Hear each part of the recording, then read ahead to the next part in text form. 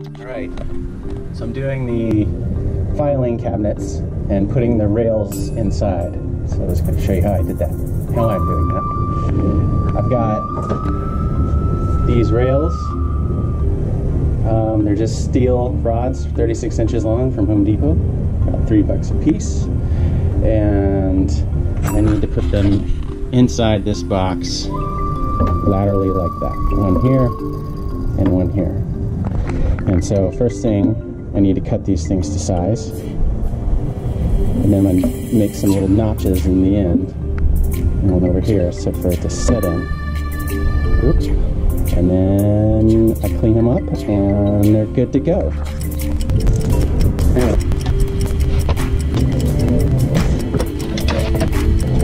So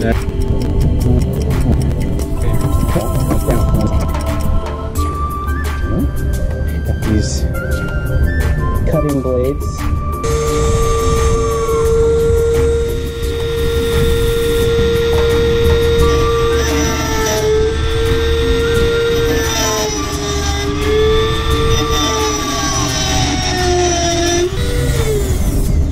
About halfway through, I can just bend this.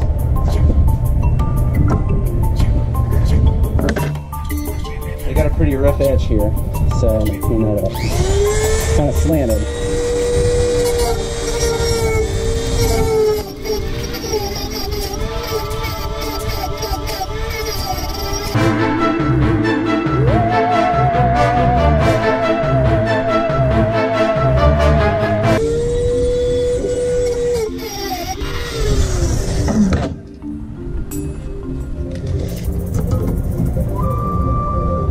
That's pretty good.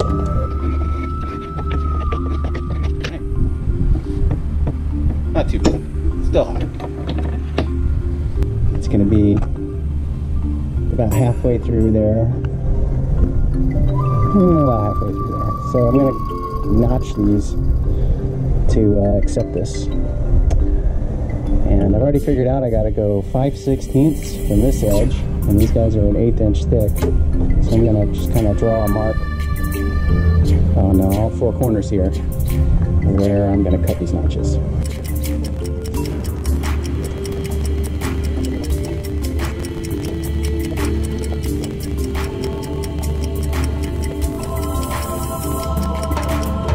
These are ready to cut. I'm ready to go. This guy. This is the best I got.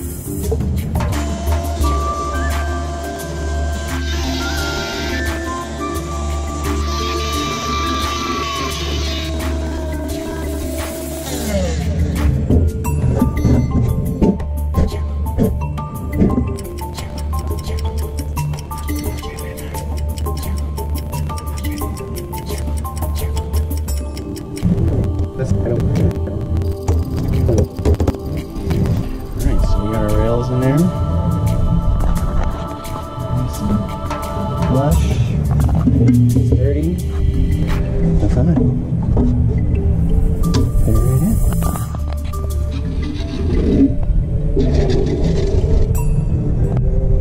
A little bit of dust in here, so we'll uh, clean this up. Favorite thing.